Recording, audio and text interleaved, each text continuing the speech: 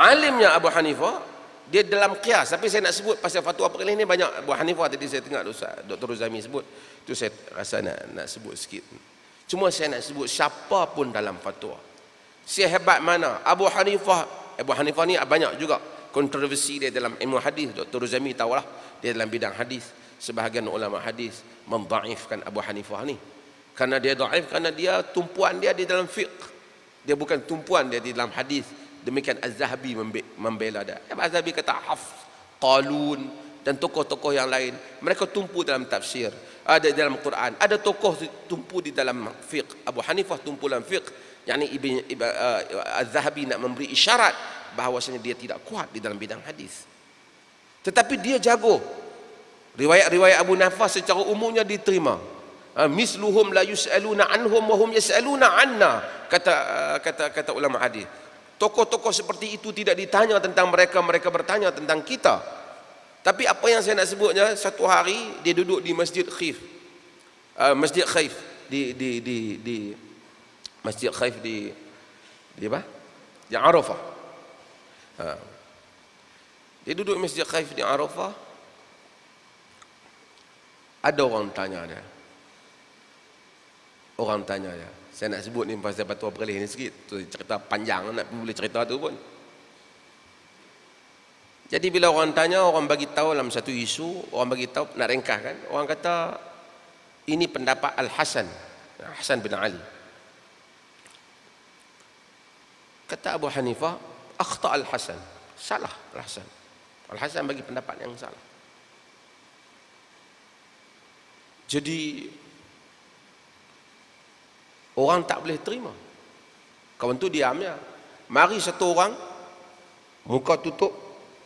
Maka kata, "Anta qulta akhta al-Hasan ya ibn zaniyah?" Kau kata salah al-Hasan wahai anak anak penzina. Oi, kata kat orang marah.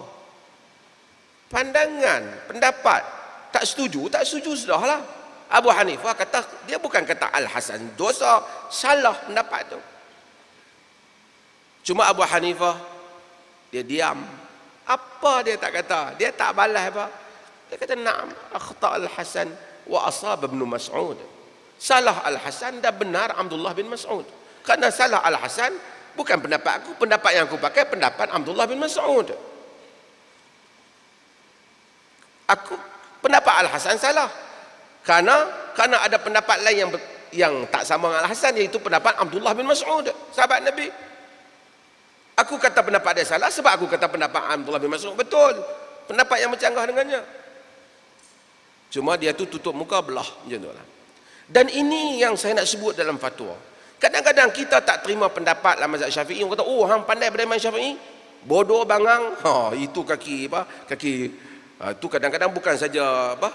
Ha, saya ber, ha, saya berterupa ke apa apa nama ni saja. Uh, keyboard orang saja.